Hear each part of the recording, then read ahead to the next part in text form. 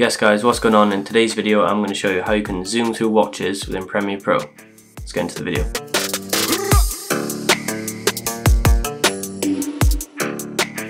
So this effect is really simple to do um, and I'm going to show you how to do it in Premiere Pro. Um, you can do this in After Effects as well. Um, I'm just going to show you how to do it in Premiere Pro for you Premiere Pro users. So let's get into the video. So first of all, you want to obviously have a shot with a watch or maybe a car badge or kind of anything. Um, but it has to be done on the right clip, otherwise it can look quite tacky. Let's use this clip of the watch. And what we're going to do is we're going to zoom into the clip and we're going to come one frame before the end. And then we're going to right click on it and then add frame hold. What this is going to do is cut the clip and basically this clip is now a screenshot basically. So if we just drag this out, as you can see, it's just frozen the clip. So what we're going to do now is we're going to drag it over our next clip a little bit, like so. So we should have it just freeze. And now what we're going to do is we're going to come over to effects controls and opacity and we can use any one of these if you want but I think the the pen tool is probably the best and the easiest to do. So click on that and then if you want you can just zoom in onto the watch and then we're gonna cut around this. I really make sure you do this properly, but for this video I'm gonna try and do it quickly. So there we go, cut around the watch. I suggest you doing it a bit better than that obviously, um, but I'm just trying to do it quick for this video. Then we're gonna click this button called inverted, and that should basically key out um, the watch. And then a little mask feather, kind of want to click that a little bit um, and maybe a, a, mask extension just a little bit as well, just to smoothen the edges out. So now we should have something like this. So we go back and then our watch is just kind of cut out and you can see our video playing in the background. So now what we're going to do on the freeze frame clip is we're going to add position and scale keyframes. So we're just going to add position and scale at the, at the start.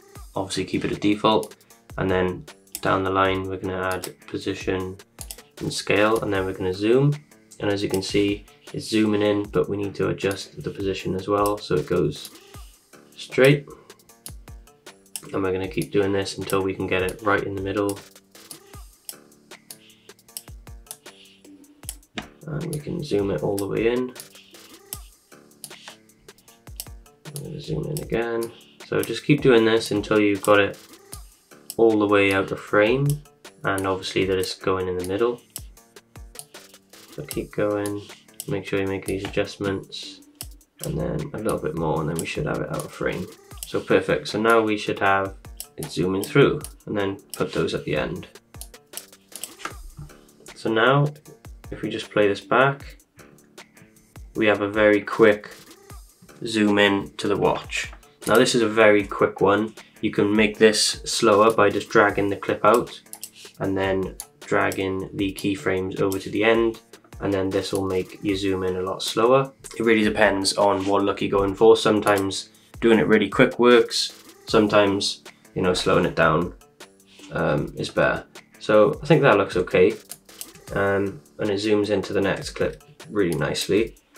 Um, but now we're just going to add um, a bit of movement um, and some flashes just to give it more of that look. So we've got our adjustment layer in. Now we're going to come over to effects and we're going to type in speed so we just drag number three on and it should give us a little shake. Looks cool. I think we need to probably duplicate it. So press hold option and just drag it up. This should basically double the effect. This looks really cool. Now we can just add a flash if we just go to adjustment layer and then let's come over to effects and type in flash. Now, if you have your own flashes, that's fine. Um, use your own. These are just the ones that are on my website, so you can literally look, there's loads of different flashes in here you can choose. So I'm just going to choose number two, simple flash, and then let's line these up like so.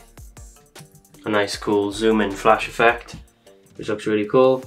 So guys, that was how to create that zoom in effect. You can do it for watches, you know, car badges, you know, clothes, anything. Pretty much do this on anything, but it works best on like watches, car badges, and clothes and stuff like that. So I hope you did enjoy the video. Don't forget to like, comment, and subscribe, and I'll see you in the next one, guys.